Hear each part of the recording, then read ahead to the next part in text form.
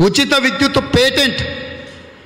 వారి నేతృత్వంలో పనిచేస్తున్న నేను ఆ శాఖ మంత్రిగా పనిచేసిన షబీర్ అలీ గారు మేము రైతులకు మూడే గంటలు చాలు రెండే గంటలు చాలు షబీర్ అలీ గారు సొంతంగా వ్యవసాయదారుడు. నేను సొంతంగా వ్యవసాయం తెలిసినోని దుక్కి దున్నినోని అరకగట్టినోని నాగలు దున్నినోని గుంటక కొట్టినోని కేటీఆర్ లాగా అమెరికాలో బాత్రూమ్లు కడిగినోని కాదు నేను. వ్యవసాయం అంటే ఏంది? రైతు కష్టం అంటే ఏంది? రైతుకు నష్టమేంది? ఈ రైతు కష్టాలను నష్టాలను పోగొట్టాలంటే ఏ విధంగా రైతులను ఆదుకోవాలని సంపూర్ణమైన అవగాహన ఉన్న రైతు బిడ్డను నేను. నేను పాస్పోర్ట్ బ్రోకర్లోడి బిడ్డను కాదు. నేను దళారి కొడుకును కాదు. నేను అమెరికాలో బాత్రూమ్లకు అడిగొచ్చినోని కాదు. అమెరికాలో నేను మన పోయినప్పుడు కనుక్కున్నా. ఏందా ఎప్పుడు ఇది అంటారంటే సార్ ఇక్కడ హౌస్ కీపింగ్ అంటారు సార్ అన్నారు. ఎందుకంటే నేను ఏదో మిత్రుడి దగ్గర ఫ్లాట్లో ఉంటే తిన్న ప్లేట్లు అవి తీయడానికి పోతే లేదన్న హౌస్ కీపింగ్ వాళ్ళు వస్తారు అవన్నీ క్లీన్ చేస్తారు ఇవి బాత్రూమ్లు అని. అంటే అన్న అదే అన్న నువ్వు హైదరాబాద్లో అంటుంటావు కదా బాత్రూమ్లు కడిగేటోడని దీన్ని ఇంగ్లీష్లో కొంచెం హౌస్ కీపింగ్ అంటారు. అంతకుముందు ఆయనకు చదువుకున్న చదువుకుతో రాకి ఈ హౌస్ కీపింగ్లో పనిచేసేటోడు. కావాలంటే వాళ్ళని కూడా కల్పిస్తా అని చెప్పారు. నేను హౌస్ కీపింగ్లో బాత్రూమ్లు కడిగినోని కాదు. పల్లెటూరులో రైతు బిడ్డగా వ్యవసాయం చేసినోని నాగలి దున్నోని గుంటక గట్టినోని ఒకవేళ అనుమానం ఉంటే కేటీఆర్ గారు వస్తే ఇద్దరం పోటీ పడి నాగలి గడదాం దుక్కి దుందాం గుంటుకోకూడదాం వ్యవసాయం అంటే ఏందో ఇద్దరం పోటీ పడదాం. నీకున్న నైపుణ్యం నాకు లేదు నేను అందులో నీతో పోటీ పడలేను. ఒకవేళ నువ్వు అందులోకి నేను పిలిచావు నన్ను నేను అందులోకి రాను. అయితే ఈరోజు ఇక ఉచిత కరెంటుకు సంబంధించి వాస్తవంగా అక్కడ నేను చెప్పదలుచుకున్నది ఉచిత కరెంటును అనుచితంగా అవినీతికి చంద్రశేఖరరావు గారు ఉపయోగించుకుంటుండు. రెండు వేల పద్దెనిమిది వరకు తొమ్మిది గంటలు విద్యుత్తును ఇచ్చినామని చెప్పిన రాష్ట్ర ప్రభుత్వం రెండు వేల పద్దెనిమిదిలో ఎన్నికల కంటే ముందు ఇరవై నాలుగు గంటల ఉచిత విద్యుత్తు రైతులకు ఇస్తున్నామని దీనికి తెరలేపింది. దీని వెనకాల మూడు ప్రధానమైన కారణాలు ఉన్నాయి. రెండు వేల నాలుగు నుంచి రెండు వేల పద్నాలుగు వరకు ప్రైవేటు పెట్టుబడిదారులకు విద్యుత్ ఉత్పత్తి చేయడానికి అనుమతులు ఇచ్చి బొగ్గు కేటాయింపులు చేసి ప్రభుత్వ రంగంలో పెట్టుబడుల కొరత ఉంటుంది కాబట్టి ప్రైవేటు వ్యక్తులను చాలామందిని రాష్ట్ర ఆ రోజు కేంద్ర ప్రభుత్వం ప్రోత్సహించింది. వాళ్ళ ప్రాజెక్టులు కట్టి పూర్తి చేసుకొని ముందుకొచ్చి అమ్ముకునే వచ్చే వరకల్లా విద్యుత్ ఉత్పత్తి సామర్థ్యం విపరీతంగా పెరిగిపోయింది. వినియోగం తగ్గిపోయింది. ఈరోజు బజార్లో ఇరవై వేల మెగావాట్ల విద్యుత్ ఉత్పత్తి చేసే సామర్థ్యం ఉంటే పదిహేను వేల మెగావాట్ల విద్యుత్తును కూడా కొనుగోలు చేసేటోళ్ళు లేరు. ఒక ఐదు వేల మెగావాట్ల విద్యుత్ ఉత్పత్తి సామర్థ్యం ఉన్న ప్రైవేట్ సంస్థలు మూతబడినాయి దివాలా తీసినాయి. దానికి ఉదాహరణ టీఆర్ఎస్ ఎంపీ నామ నాగేశ్వరరావు గారికి కృష్ణపట్నంలో వెయ్యి యాభై మెగావాట్ల విద్యుత్తు ఉత్పత్తి సంస్థ ప్రారంభించి పదేళ్ళైంది ఐదారేళ్ళు ఎవ్వడు కొనటోళ్ళు లేక మూతేసి దానికి బ్యాంకుకు లోన్లు కట్టలేక ఆయన మిగతా మధుకాన్ కంపెనీ కూడా దివాలా తీసింది. దానికి బ్యాంకు ఇన్స్టాల్మెంట్లు కట్టలేక. నామ నాగేశ్వరరావు ఆ పార్టీ ఫ్లోర్ లీడరు. కేసీఆర్ను రమ్మనుండ్రి. ఇదే కాకుండా నేను ఇంతకుముందు మీడియా మిత్రులకు కొన్ని పేపర్లు ఇచ్చిన. రెండు వేల పదిహేను పదహారులో భద్రాద్రి కొత్తగూడెంలో వెయ్యి నలభై మెగావాట్లు అదేవిధంగా యాదాద్రి పేరు మీద నాలుగు వేల మెగావాట్ల విద్యుత్తును ఉత్పత్తి చేసే కొత్త ప్రాజెక్టులను మేము ప్రారంభిస్తున్నాము.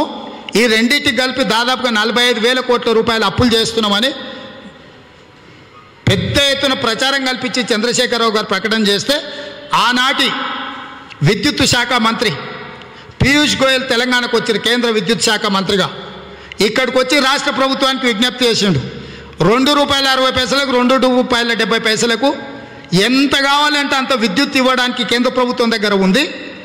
మీరు ఎలాంటి కొత్త పెట్టుబడులు పెట్టకండి కొత్త ప్రాజెక్టులు కట్టకండి.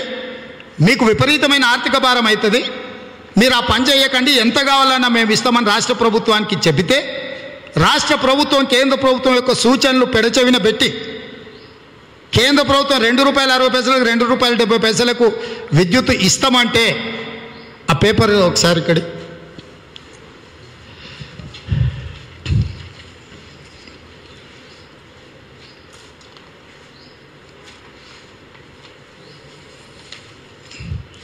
పీయూష్ గోయల్ గారు ఇచ్చిన పేపర్ కటింగ్ ఇది. విద్యుత్ ప్లాంట్లపై విద్యుత్ ప్లాంట్ల ఏర్పాటుపై తెలంగాణ పునర పునరాలోచించాలి. పీయూష్ గోయల్ కేంద్ర మంత్రి. ఇవాళ పేపర్ కటింగ్ తీసి ఇచ్చిన మీకు. కేంద్ర మంత్రే స్పష్టంగా వచ్చి రాష్ట్ర ప్రభుత్వం దగ్గర మీరు కొత్త ప్లాంట్లు పెట్టి అప్పుల పాలు చేయకండి విద్యుత్ జెన్కోలను ట్రాన్స్కోలను. మీరు తక్షణమే ఆలోచన మానుకోండి. కేంద్ర ప్రభుత్వం దగ్గర మిగులు విద్యుత్ ఉన్నది.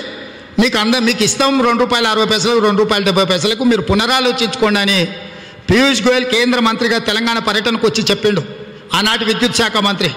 చంద్రశేఖరరావు వినిపించుకోకుండా నాలుగు వేల మెగావాట్లు యాదాద్రిలో కడుతున్నామని ముప్పై ఐదు వేల కోట్ల రూపాయలు దాని మీద అప్పు చేసిండు.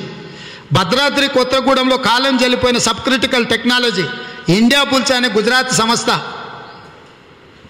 ఐ ఏడు వేల కోట్లతోని కట్టాల్సిన వెయ్యి నలభై మెగావాట్ల దాన్ని పదివేల కోట్లు పెట్టి వెయ్యి కోట్ల రూపాయల కమిషన్లు కొట్టి ఆ ప్రాజెక్టును కూడా కాలం చెల్లిపోయిన సాంకేతికంగా కేంద్ర ప్రభుత్వం నిషేధించిన టెక్నాలజీని తీసుకొచ్చి భద్రాద్రి కొత్తగూడెంలో ప్రాజెక్టును కట్టిండు.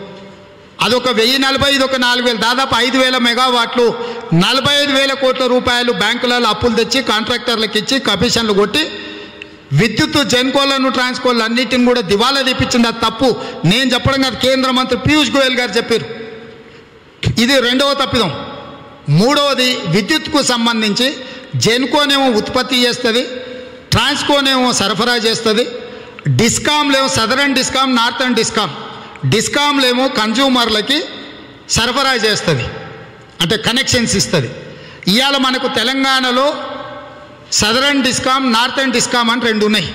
వీటి కిందనే ఉండే కనెక్షన్లు అన్నీ కూడా. ఇవాళ సంస్థలు మొత్తం దేశంలోనే ఇట్లాంటి డిస్కామ్లు యాభై రెండు ఉన్నాయి.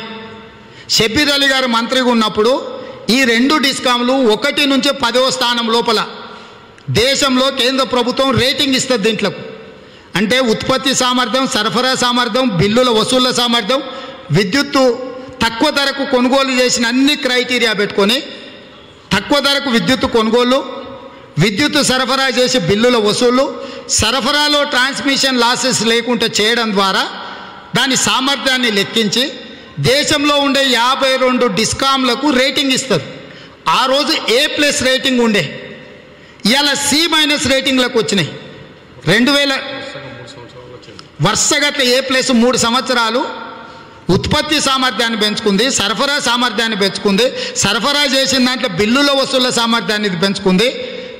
విద్యుత్ ప్రైవేట్లో కొనుగోలు చేస్తే తక్కువ ధరకు విద్యుత్ కొనుగోలు చేసి అన్ని రకాలుగా ఏ ప్లస్ గ్రేడు ఆ రోజు ఉమ్మడి రాష్ట్రంలో షబ్బీర్ అలీ గారు మంత్రిగా ఉన్నప్పుడు సదరన్ డిస్ట్రిబ్యూషన్ డిస్కామ్లు నార్థన్ డిస్కామ్లు రేటింగ్ సాధించినాయి ఈరోజు కాంగ్రెస్ పార్టీ అధికారం నుంచి పోయిన తర్వాత కేసీఆర్ విద్యుత్తులో సాధించిన అంటుండు కదా ఇవాళ ఇక్కడ టైమ్స్ ఆఫ్ ఇండియాలో రాసిన ఆర్టికల్ ఇక్కడ ఉన్నది.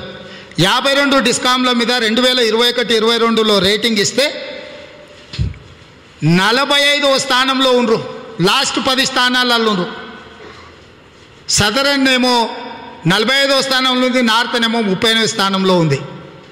అంటే మొదటి పది స్థానాలలో కాంగ్రెస్ అధికారంలో ఉన్నప్పుడు ఈ డిస్కాంలు కేసీఆర్ ముఖ్యమంత్రి అయినాక చివరి పది స్థానాలకు పోయింది. C minus. సి మైనస్లు ఉంది ప్రభుత్వం అధికారికంగా ఇచ్చిన అంటే ఈరోజు సంస్థని ఇట్లా కుప్పగూల్చిండు దీనికంత కారణము ఉచిత విద్యుత్తు ముసుగులో రాష్ట్ర ప్రభుత్వం పాల్పడుతున్న అవినీతి గురించి విద్యుత్తు కొనుగోలులో జరుగుతున్న అవకతవకల మీద వీళ్ళు చేస్తున్న దుర్వినియోగం మొత్తాన్ని తీసుకొని ఉచిత రైతులకు ఇచ్చే విద్యుత్తులో లెక్కలు రాసి అది మొత్తం అంటే వీళ్ళు సరఫరా చేసిన మొత్తం మీద వీళ్ళు దొంగతనం విద్యుత్ చౌర్యం చేసిన దాన్ని వదిలేసి వీళ్ళ ఫామ్ హౌజులలో వందల ఎకరాల ఫామ్ హౌజులలో వీళ్ళు ఇరవై ముప్పై కరెంటు మోటార్లు పెట్టి వందల ఎకరాలను పారించుకున్న దాన్ని అంతా కప్పిపుచ్చుకొని వీళ్ళకి కావాల్సిన పరిశ్రమలు విద్యుత్తు చౌర్యానికి పాల్పడి పేద ప్రజలు కట్టిన బిల్లులు పోను మిగిలిందంతా ఉచిత విద్యుత్తులో రాస్తురు. వాళ్ళు రాస్తున్న ప్రకారము ఇరవై వేల మిలియన్ యూనిట్లు వ్యవసాయానికి ఉచితంగా ఇస్తున్నామని రాష్ట్ర ప్రభుత్వం చెప్తుంది. అంటే రెండు వేల కోట్ల యూనిట్లు. రెండు వేల కోట్ల యూనిట్లు నేను రైతులకు ఉచితంగా ఇస్తా అంటుండు. దీన్ని రూపాయలలో కన్వర్ట్ చేస్తే సంవత్సరానికి పదహారు వేల కోట్ల రూపాయలు ఇరవై నాలుగు గంటల ఉచిత విద్యుత్ పేరు మీద రాష్ట్ర ప్రభుత్వం ఖర్చు పెడుతున్నా అని చెప్తుంది. ఇప్పుడు నేను లేవనెత్తిన అంశము అమెరికాలో కానీ ఇక్కడ కానీ రైతులకు ఇరవై నాలుగు గంటల ఉచిత విద్యుత్ ఇస్తలేదు. ఇది ఒక పాపులర్ స్లోగన్ కింద తీసుకున్నారు. ఈ ఉచితాన్ని అనుచితంగా అవినీతికి చంద్రశేఖరరావు వాడుకుంటుండు. ఇరవై నాలుగు గంటలు విద్యుత్తు ఉచితంగా ఇస్తే పదహారు వేల కోట్లు అవుతుంది.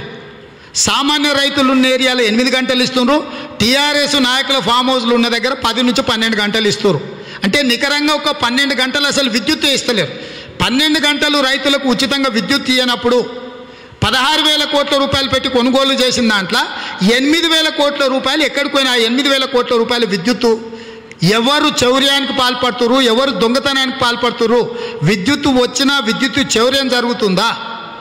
విద్యుత్ కొనుగోళ్ళ ముసుగులో ఎనిమిది వేల కోట్ల రూపాయలు చంద్రశేఖరరావు దోపిడీకి పాల్పడ్డా అనేది కాంగ్రెస్ ప్రశ్న.